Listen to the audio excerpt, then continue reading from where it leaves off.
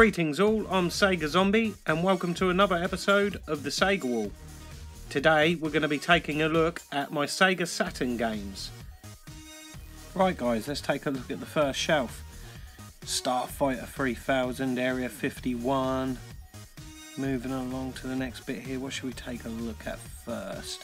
I know, Die Hard Arcade. Known in Japan as Dynamite Deka, over here and in the US, Die Hard Arcade. A sort of cash in really, but a great game.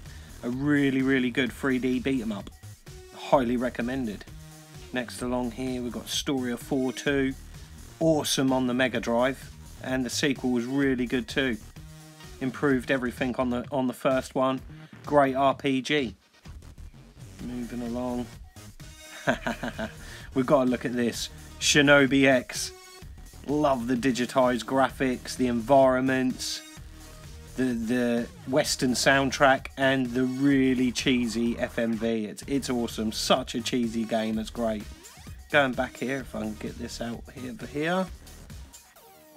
Galactic Attack. A great, great shooter. This so detailed. The graphics are amazing. It plays so so solid. Great music as well. First couple of levels not too bad, but it gets really really tough. A tough tough game. What else have we got? Oh, I've got to show this. Street Fighter Alpha 2. Probably my all-time favourite Street Fighter game. Played this no end. Tapping in the button combo to get Evil Ryu and pulling off that firecracker for the first time. Amazing, love that game. Right, moving on to the second shelf. Oh, I've got to show you this. Radiant Silvergun in a PAL case. How is this possible? A great Galaxian, Guardian on the Galaxy, Ben Boyd, that's how it's possible. What an awesome box art this is on here. Made from scratch by his artistic hands. Awesome.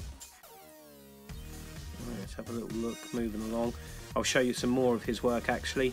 Panzer Dragoon, Panzer Dragoon 2. He's done me a lovely little slipcase to put them both in. As you can see, the detail to the box art, awesome.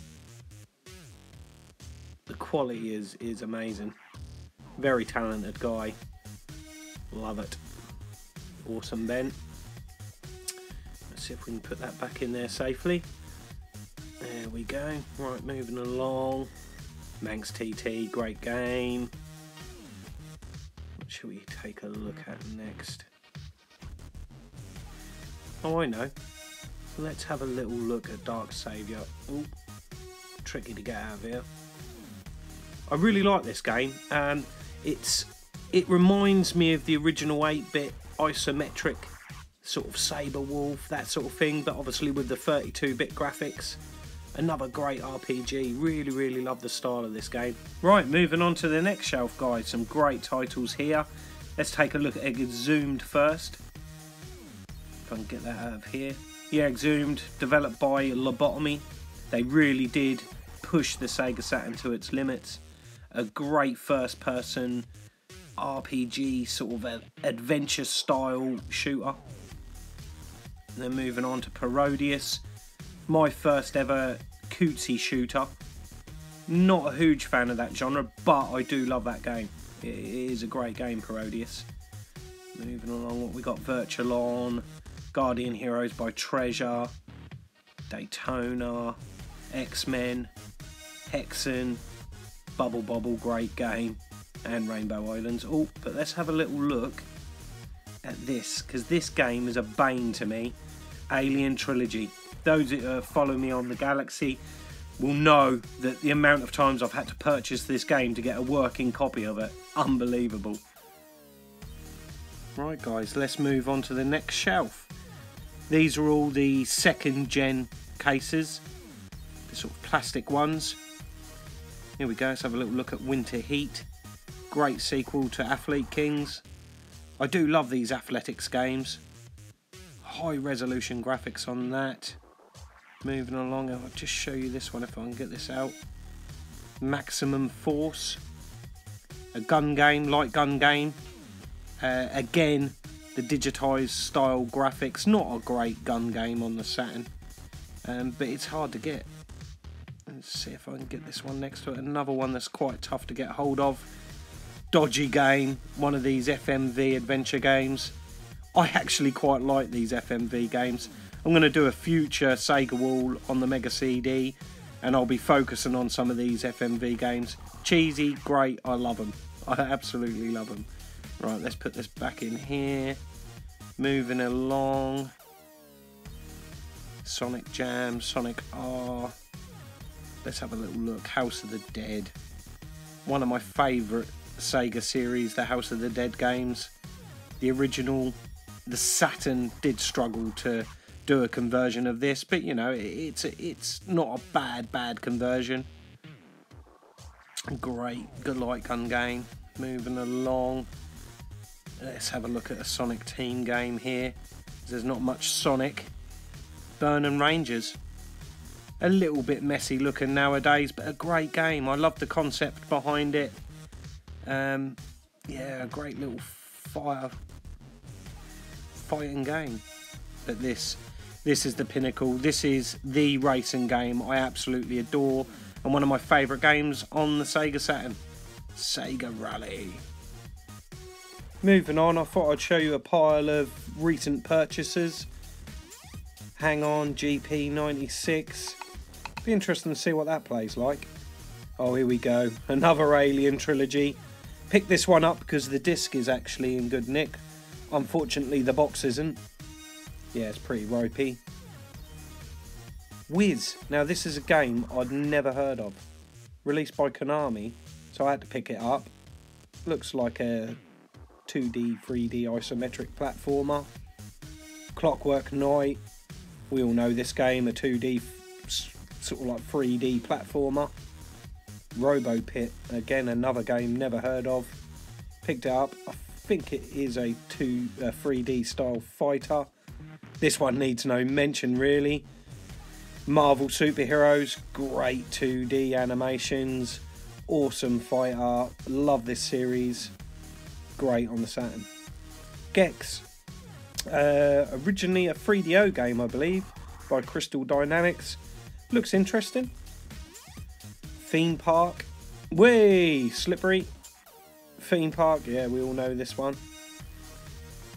Alone in the Dark, Jack is back.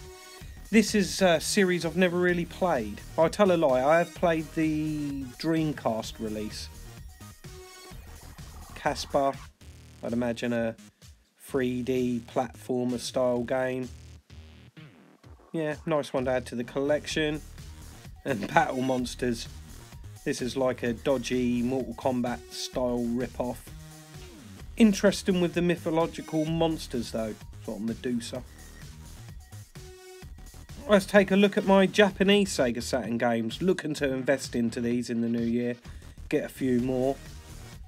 But looking at the first one, we've got Power Drift.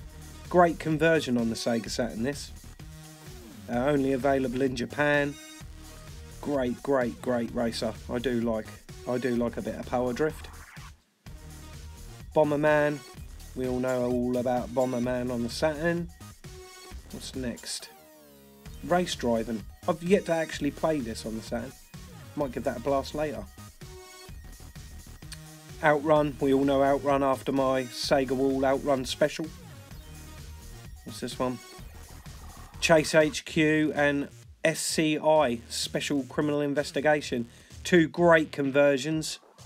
Again, only released in Japan. What's this up here? Oh, a Sega Flash demo disc. And then we've got Gale Racer with the swinging Sonic on the mirror. This one's an interesting one. Astal looks really good.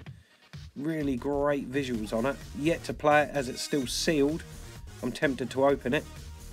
Moving on to the box games. We've got Marvel Superheroes versus Street Fighter. An RPG one which I picked up cheap in a bundle. And then we've got X Men vs Street Fighter. Great 2D fighters on the Saturn.